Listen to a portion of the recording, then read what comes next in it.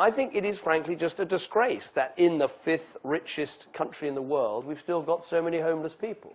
And by that I mean both people sleeping on the streets, literally roofless, but also the sofa surfers, the people in hostels, the people in insecure accommodation. We have to look at the full range of homelessness. I think it's a disgrace, and I want the Conservative Party to get back to its roots of being a party that is progressive on social issues.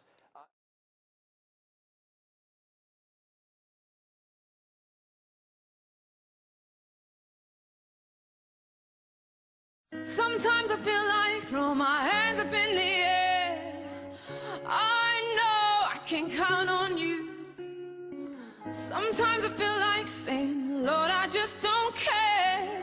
But you've got the love I need to see me through. Sometimes it seems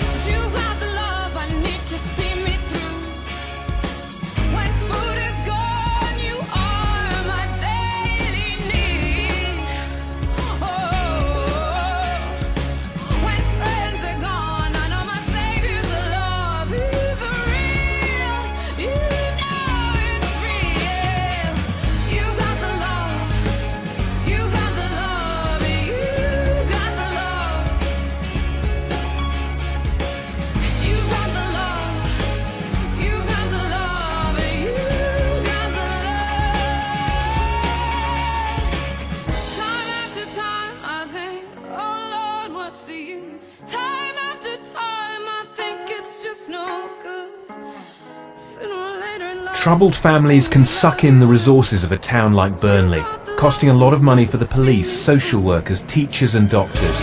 There are 375 families on the list here, with multiple problems including truancy and antisocial behaviour. Many of the interventions come with a threat of sanction, that people might, for example, lose their homes or their children might be taken away from them. That's not really a stable foundation to try and build long-term change.